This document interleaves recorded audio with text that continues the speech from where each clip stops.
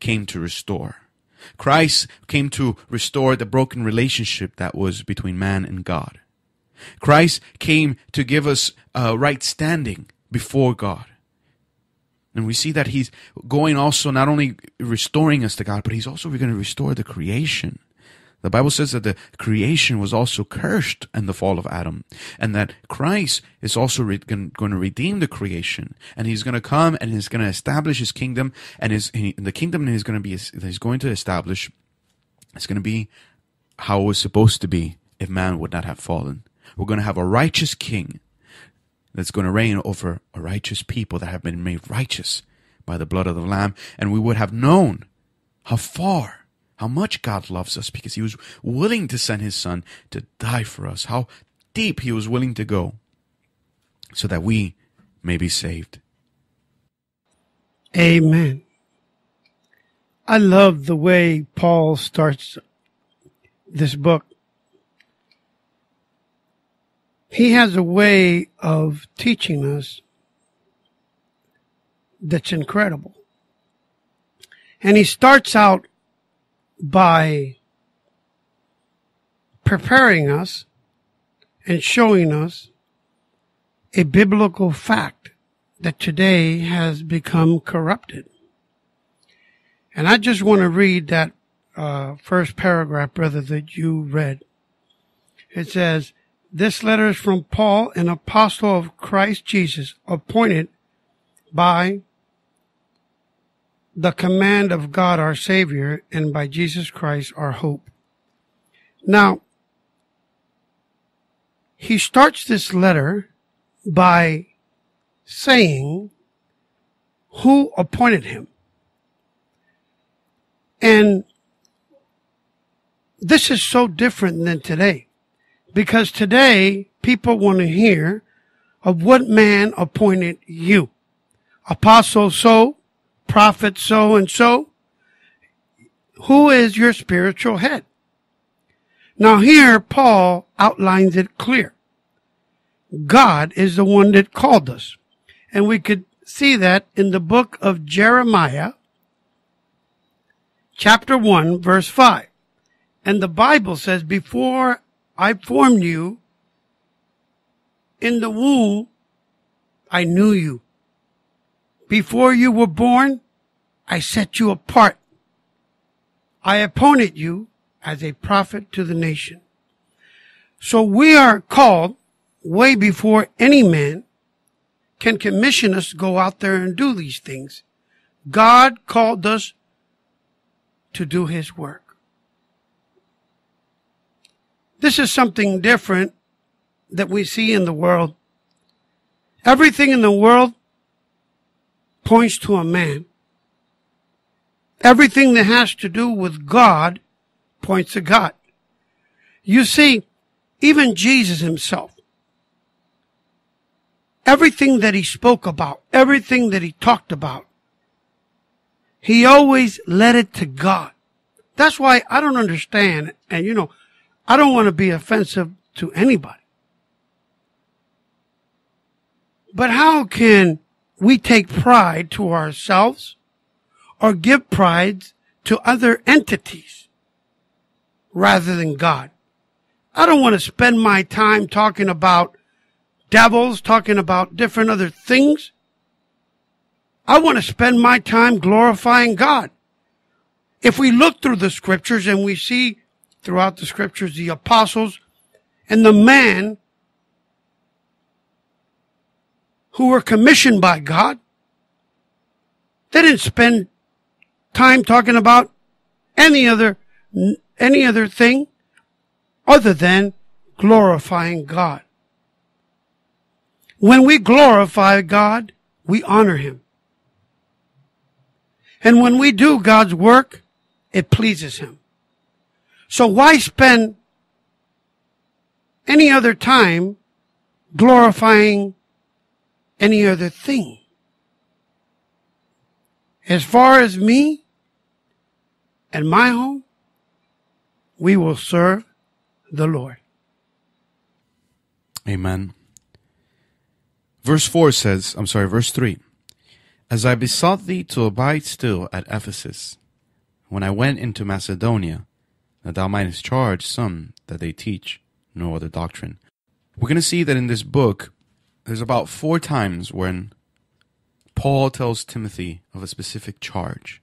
What is it? A declaration, a specific uh, instruction that he's giving.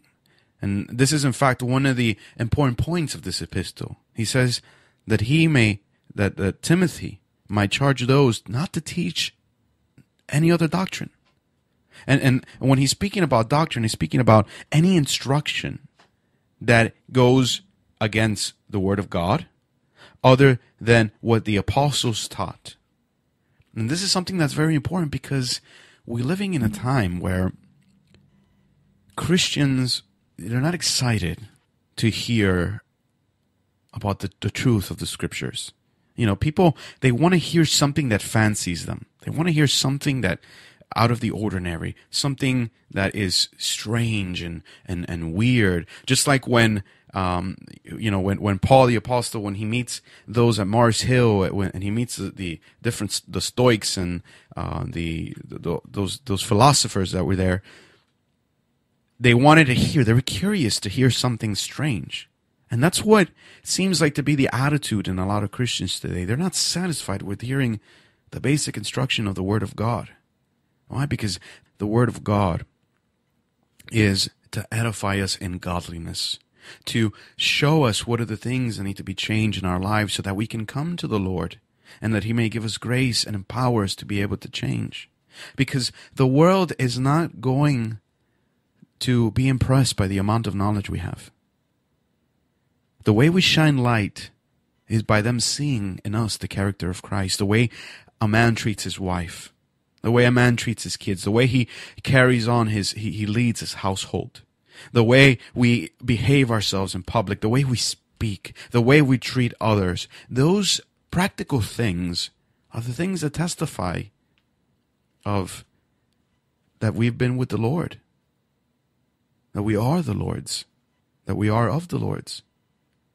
And that's something that's very important because the, the Bible says that knowledge puffeth up. It doesn't, it, it does me nothing if I have all this great knowledge of uh, the scriptures and, and these mystical things, if godliness is not seen in my life.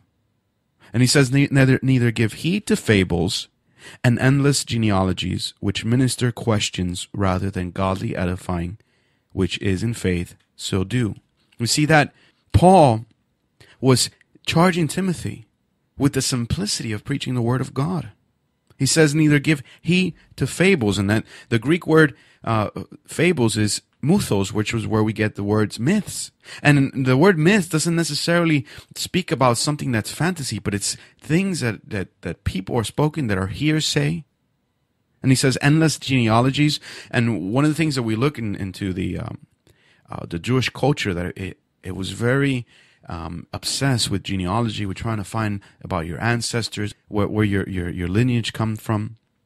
And why does Paul say that these things are not are not good? First of all, he says because they minister questions rather than godly edifying.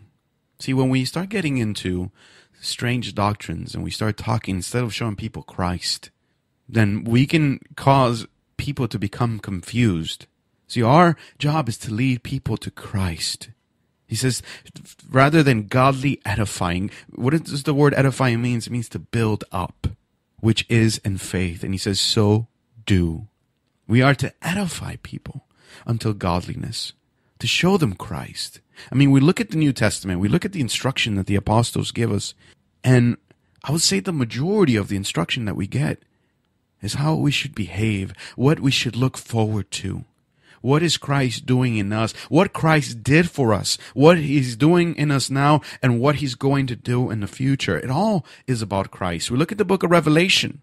It's about the revelation of Jesus Christ, of who he is and what he has paid for and how he is the King of kings and Lord of lords and he's going to take possession of that which he paid for on the cross of Calvary. That is what we need to be ministering as Bible teachers is showing people the scriptures and what the scriptures calls us to, to live a life of holiness, to live a life separated for the Lord, to live a life that is worthy of his calling. He paid for us with the blood of Jesus Christ. We belong to Him. Amen. People don't want to hear the truth. They rather hear a lie or a story. And it's sad to say, but this is happening today in many churches.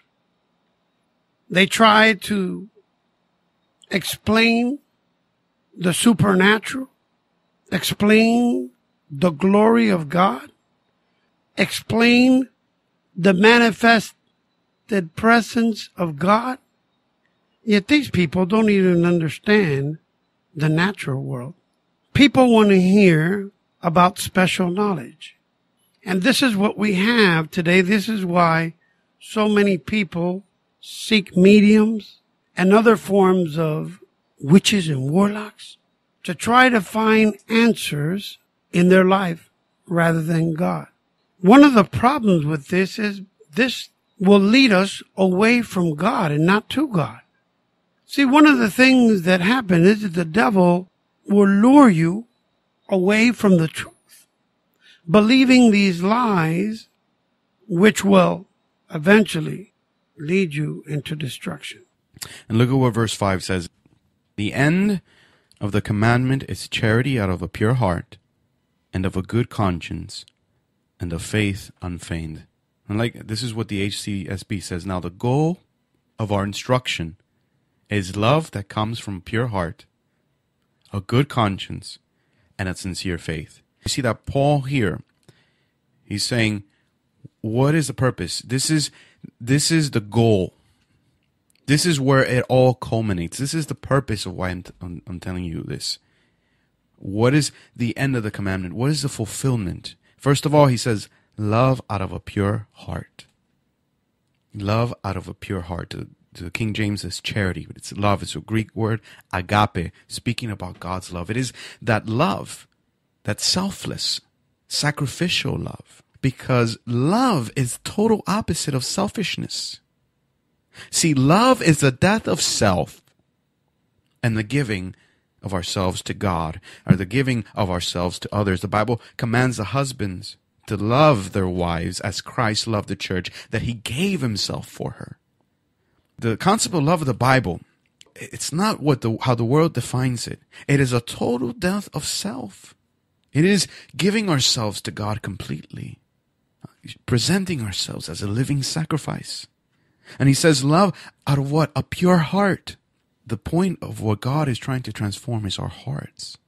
To remove from us those motives, those evil motives, those evil thoughts, those evil things that are inside. He says, this is the purpose, is that we love from a pure heart, not one that is mixed, not one that is uh, partly for God and partly for the world. One that is clean before the Lord, one that knows that God sees him internally. God cares about our motives. And he says, not only from a pure heart, he says, but a good conscience A good conscience. The conscience is very important in the scriptures. You know that the Bible says that we can also sin against our conscience. And when it's speaking about good conscience, it means that we're walking according to the convictions of the Holy Spirit in our lives. And not only doing that, but also conscience that we're free, that we're not manipulating others, that we're not, uh, that, that, that we've done the best we can to be right before God and be right before man to do what is right, to not defraud anybody. And he says, and a sincere faith, or a faith unfeigned, meaning we're not hypocrites. That our actions line up with what we believe. You see, that's the biggest criticism of the Christians from the world. Oh, well, you call yourself a Christian, but you're a hypocrite. Why? Because you don't do the things that you believe, that you profess. And when we don't do the things that we profess, we take away the power of our testimony. We, we, our testimony discredits our words. We are to, to, to be genuine Christians and to live up to what we profess because that's the, that's, that's what hypocrisy is. Hypocrisy is to proclaim something, proclaim that we're something when in reality we're not and we don't show those things. When we look at the, the goal of these things, of, of the reason why Paul is instructing